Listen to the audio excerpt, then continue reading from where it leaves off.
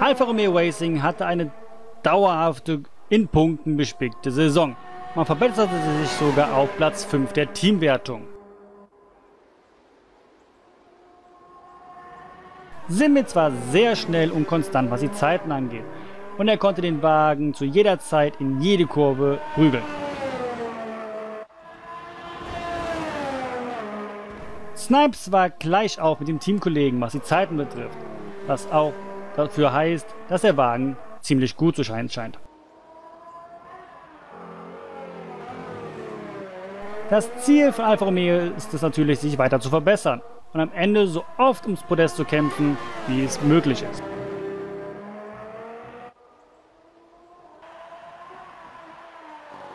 Red Bull war vom ersten Rennen der Saison siegfähig. Man steigerte sich vom Platz 7 der Teamwertung auf Platz 2. Nur ein einziges anderes Team war schneller. CA993 hatte ein paar Schwierigkeiten mit der Zuverlässigkeit. Deswegen hat man ihn ziemlich selten an Testfahrten gesehen. Verstappen wiederum war sehr oft auf der Strecke. Und das meistens auf langen Stints, die auch noch relativ gut aussahen. Red Bull ist momentan ziemlich schwer einzuschätzen. Aber so wie man es bisher sieht, könnten Top 5 Platzierungen definitiv drin sein.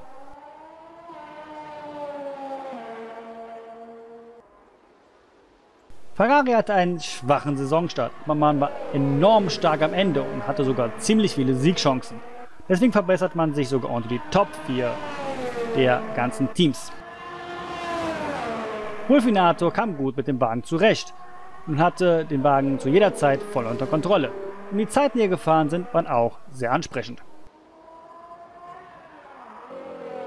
Red Schaf hatte ein paar Probleme mit dem Limit und er war auch etwas zeitig hinter seinem Teamkollegen. Das heißt aber nichts. Testfahrten sind nur mal Testfahrten. Das Ziel ist es, gute Updates zu machen, um näher an das Topfeld zu gelangen, um so häufig aufs Podest oder sogar ein paar Siege zu holen.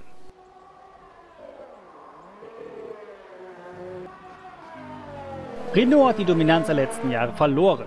Man war sehr enttäuscht, am Ende sogar nur Platz 6 zu holen. Man dachte, man könnte zumindest irgendwie noch mit Platz 3 rechnen. Kevin Müller war etwas hinter den Erwartungen, aber die Konstante, die er bei den Zeiten gezeigt hat, sind ziemlich zufriedenstellend für das Team. Biosprit war etwas schneller als der Teamkollege, hatte aber ein sehr unruhiges Auto, wenn er aus Kurven rausbeschleunigt hat. Vielleicht kriegt er das noch in den Griff. Das Ziel ist es, bevor man wieder richtig dominant wird, erstmal wieder langsam an das Feld ranzukommen. Und erst sich so richtig dann zu verbessern.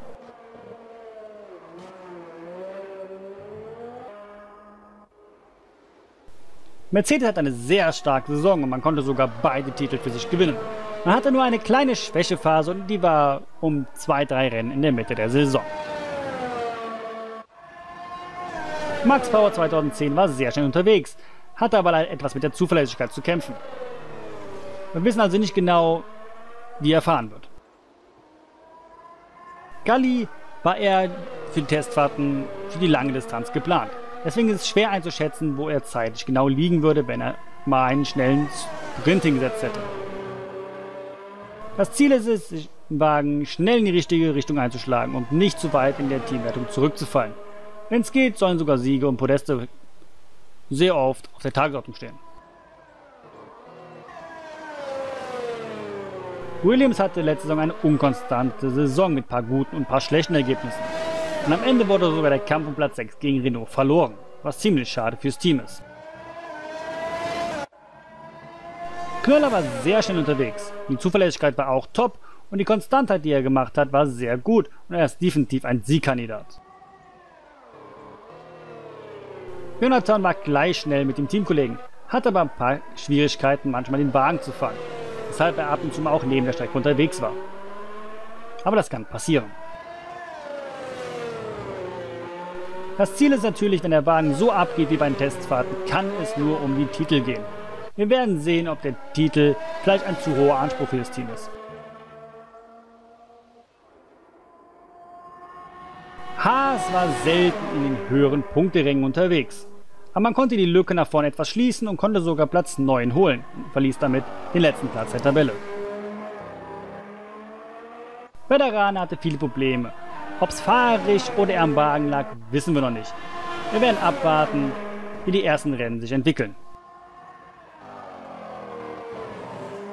Benny hatte sehr schwer zu kämpfen mit einem sehr kon schwer kontrollierenden Fahrzeug.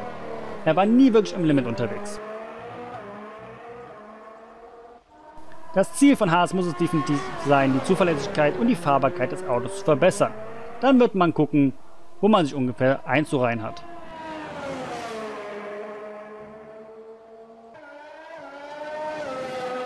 Racing Point war ein nur ein einziges Mal gut in der letzten Saison unterwegs. Hatte sehr viele Ausfälle und deswegen ist man auf den letzten Platz der Tabelle zurückgefallen.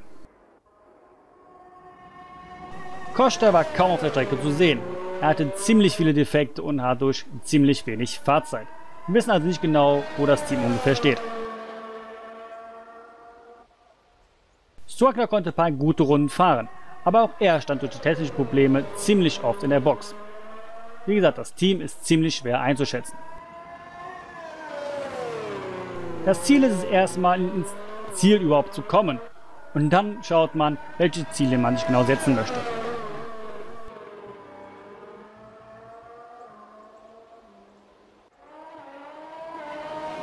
McLaren hat eine richtig gute Saison und man konnte sogar ein paar Siege feiern. Den dritten Platz, den man sich als Ziel angegeben hatte, wurde komplett erfüllt.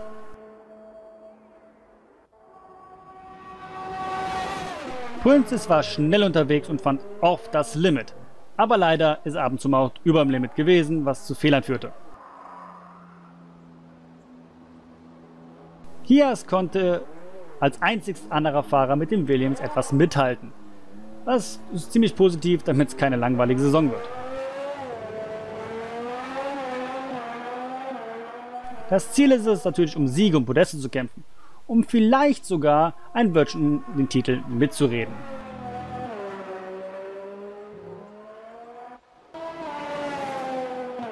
Toro Rosso hat einen soliden Start, hat aber am Ende etwas oder sogar deutlich nachgelassen.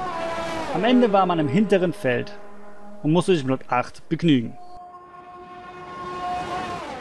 Räuber Racing ist kaum aufgefallen, er war eher im Mittelfeld unterwegs. Aber was man definitiv sagen kann, er war ständig unterwegs. Egal wo man geguckt hat, er war auf der Strecke. Basti war auf einem sehr guten Niveau, aber selten ganz vorne mit dabei.